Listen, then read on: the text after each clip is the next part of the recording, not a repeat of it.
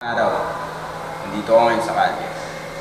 Mission namin para sa araw na to, magbukay sa Victory Mall, Balibano. Kung wala kang ginagawa, pwede mo kami samahan. Pero bakit wala kang ginagawa? Kasi dapat meron kang ginagawa. Dapat ginagalingan mo, araw-araw. Maya-maya lang nandun tayo. Okay na ba yun, pre? Oo, pre. Tamo, ang tanga dito.